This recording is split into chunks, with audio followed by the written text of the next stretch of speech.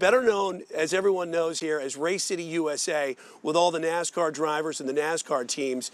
And Maureen Wirtz, that's where I want to bring you back in here because as we have a lot of these NASCAR drivers here, there are a lot of them current, but a lot of also legendary NASCAR drivers that call Mooresville home. Yeah, Brian, we talk a lot about the cars here in Mooresville, but it's really the drivers who've helped make this city play such a big part in all of those NASCAR legends. Never quit trying. Never quit trying. It's a city known for its drivers. No, not the ones cruising on Main Street in Mooresville, but those who take a turn on the track.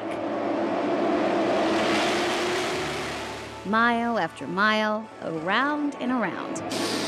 That makes it two in a row for Allison and the DiGard team. And one of those legends. Today's victory increased Allison's lead over Waltrip in the points race to 71 points. Is Bobby Allison. I didn't let that break my heart. There's another race coming. A 27 year career centered around one track in particular. That's the best racetrack in the world. Daytona. I can't put it into words, but you know, I can sit right here and, and think of how good it felt to be sitting in that car at Daytona. Though Bobby was in the driver's seat, his family often came along too. His wife Judy and their kids, Davey, Bonnie, Clifford, and Carrie. And after their win here in Richmond, they went to Dover, Delaware the following week and won again. And two took after Dad, his oldest son Davey. And, and Davey grabbed his little steering wheel and he said, Ed, Ed. And his other son, Clifford. Clifford stories from mostly not true. But that was okay with Clifford.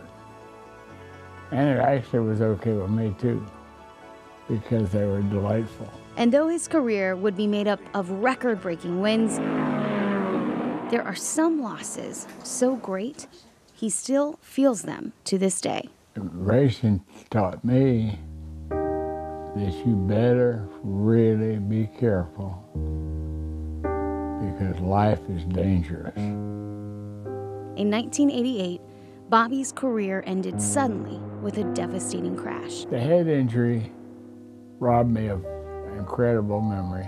But the ending of his racing career was nothing compared to the loss of his two sons. Horrible. Losing those boys.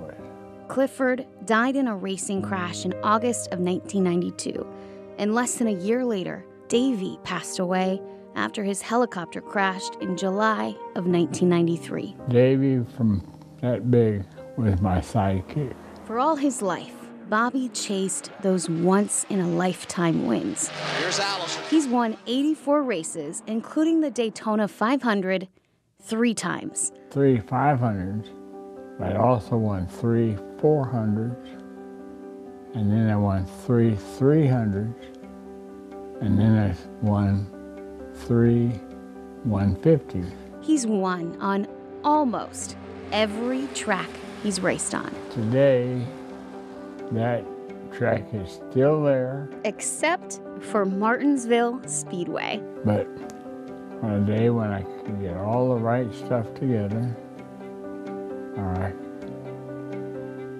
this might be able to win Martinsville. In his eyes, a glimmer of a dream. In spite of that fact, there were more than a handful of Bobby Allison fans in the crowd. Not yet lost and not yet finished. Bobby has had an extraordinary career, and I have a little story for you. When we were shooting that interview, I asked him to record a special message for our chief investigative reporter, Jody Barr, who's a huge fan. And Bobby ended that little message by saying, Thank you for being my friend. And that is exactly how he views everyone who's been rooting for him for his whole career. He views them as friends, and he says, When I win, they win too. And Brian, I have to tell you, there actually was a literal twinkle in his eyes when he was talking about Martinsville. And I was like, No, I bet you could do that, Bobby.